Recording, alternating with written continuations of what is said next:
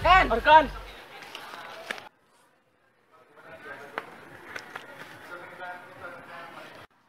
Eh ano ba yan? Akong narito. Hindi ka naman kasali eh. Kaya mo na lang abo. Tara, pupunta na tayo.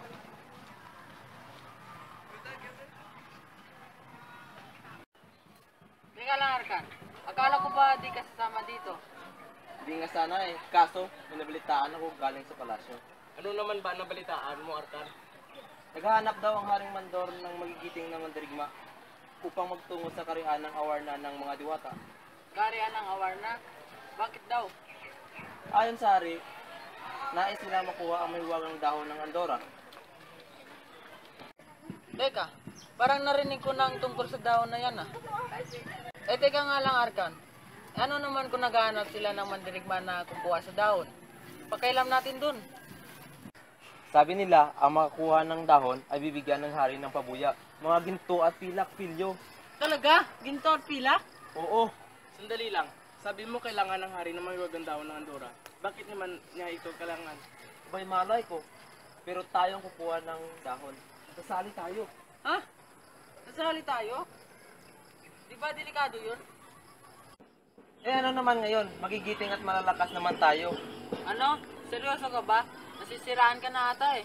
Oo, malalakas at magigiting tayo. Pero iba na ang usapan kung maglalakbay tayo tungo sa Awarna. Yan ka na naman pilyo eh, bahaga naman yung buntot mo. Anong sabi mo? Di yan totoo, no? Ang sa akin lang naman, delikado at ibubuwis natin ang ating buhay. Tanga, hindi para sa dahon, para sa ginto at pilak, pilyo. Yayaman na tayo. Ano? Ay, ewan, di ako sasama. Duwag nito oh. Teka abo, parang kanina ka patahimik ka. May problema ba? Nagtataka lang ako. Bakit naman kailangan ng hari na may wagandahon ng Andorra? Hindi ko rin alam. Baka may sakit ang hari. Sa pagkakalam ko, dagda ng dahon ang nakapagpapagaling sa may sakit. Aba, may laman pala yung utak ko. Si Raulo, Ang prinsesa, may balita ba kayo tungkol sa kanya? Sabi nila, hindi raw na gagawin ang prinsesa matagal na. Simula nang sumugod ang mga hiwan. baka siya ang may sakit. Oo, baka siya. Kaya pala hindi ko na siya nakikita. Sige, Arkan. Tutungo tayo bukas ng umaga sa palasyo para sumali. Talaga? Sige, sige. Teka, ano nga po? Kasali tayo. Tara na, umuwi na tayo para makapaganda. Pero, Tara! sige na nga. Oh, handa na ba kayo? Oo, handa na ako. Seryoso ba talaga kayo? Tama na nga, Pilyo. Tara na, pumunta na tayo sa palasyo. Oo na, ito na, naglalakad na. Bilisan mo nga. Oo na!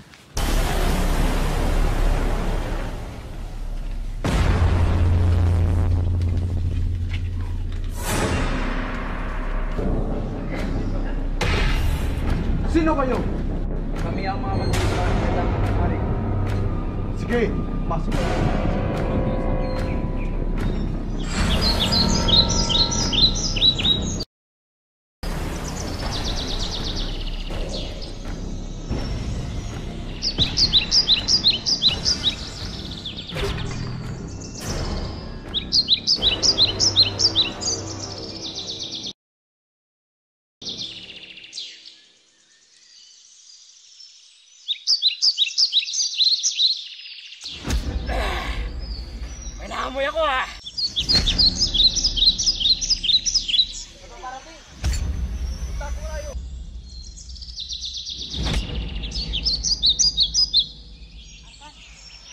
Ka.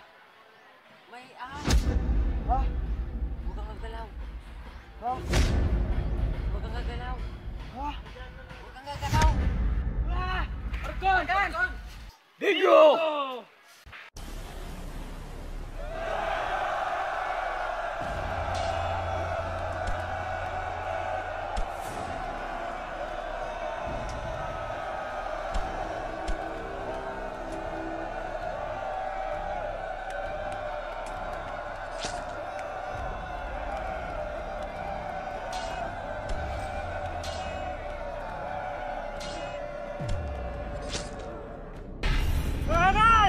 Umalag ka dito!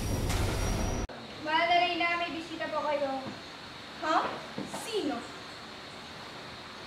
Ako, mahal ko. Nandina? Anong ginagawa mo dito? Nagdalang ka. sumabang mag-alala sa pinakamamahal kong kapatid.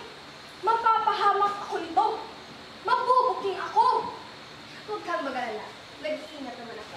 Basta, sinasabi ko sa'yo, susundin mo ang kasunduan natin. Oo, gagawin ko. Bigyan mo lang ako ng konting panahon. Sige, aasahan ko yan. Reyna. Yan lang naman ang pinakay ko dito. Mukhang nagpapahinga ka. Sige, mag-ingat ka, kapatid.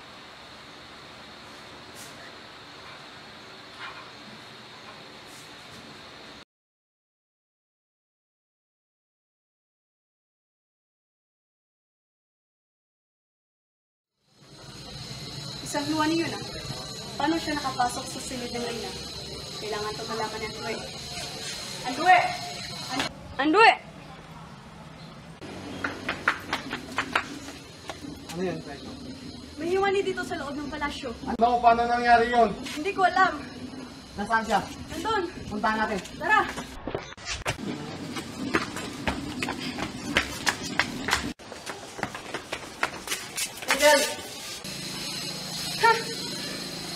Hanggang dyan ka na lang, Iwani.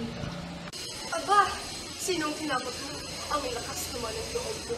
Pagbabayaran mo ang ginawa mo sa maging ako. Baka kasi gusto mo sumunod na sa kanila.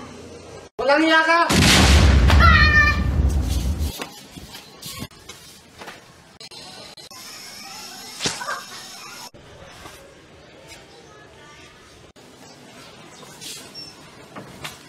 Ito! Ito!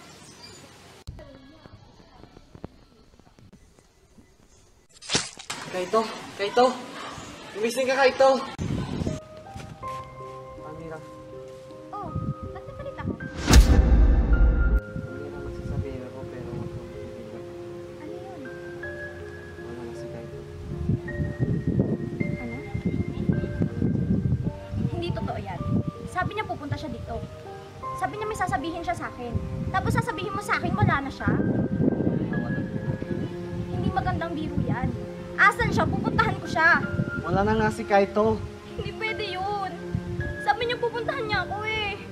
Sabi niya may sasabihin siya sa akin. Wala na si Kaito eh. Ano mo bang ginawa natin? Kahit na! Kahit na! Mahal na Nayna, may mga mandirigmang nakapasok sa ating harian. Ano? Ipakita mo sa akin. Maganda kayo! Ihanda ang mga patibong! Opo, mahal na Reyna. Anong mabaong amoy na yun? Oo nga, ang sama. Umutot ka, Barkan? Hindi ah. Ikaw talaga. Ilagay mo yan sa lugar, ha? Sabi niya hindi nga ako. Tumahimik nga kayo. Anong mga yun? Mga diwata! Munda!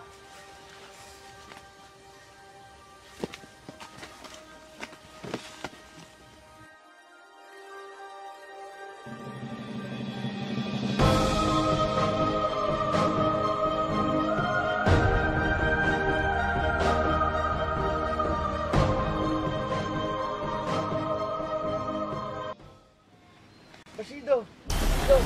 Sikat! Pilyo! Arkan! Shiva! Gumising kayo! Nasaan na tayo? Baka nandito na tayo sa Awarna. Ang ating mga sandata. Doon! Tara, natin! Mga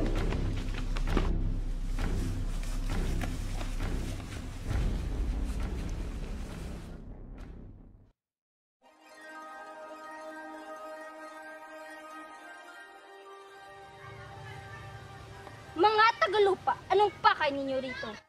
Dahon na Andorra. Bakit ninyo ito kailangan? Kailangan ng prinsesa. Nasa panganib ang buhay niya. Hindi ninyo basta-basta makukuha ang daon. Ito'y nasa aming pangangalaga. Parang awa mo na. Ano ang maaari namin gawin para ibigay niyo ang dahon ng Andorra? Sige, isang labanan. Pag natapon ninyo ang aking sandata, ibig sabihin na talo ninyo ako at hayaan ko kayong kumuha ng daon. Pero kapag natalo ko kayo, magiging bihag namin kayo habang buhay. Sige, ako nang lalaban. Samahan kita ko. Sige, yan ang gusto ko. Sigurado ba kayo? Oo, tiwala ka. Sige, dito, Arkan. Mag-ingat kayo. Galingan nyo. Oo.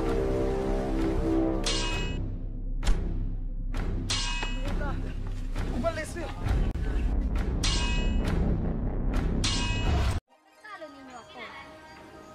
Paano ba yan? Pwede na ba namin kunin? Oo, pwede na kayong kumain. Maraming salamat. Walang anuman. Arkan, mag-ingat ka. Ayun na. Ingat lang. Ingatan nyo. Tupilyo, sa wakas, mapapagaling na natin ang prinsesa. Oo nga. Kan, baba na. Tara, umalis tayo dito. Tara. Tara.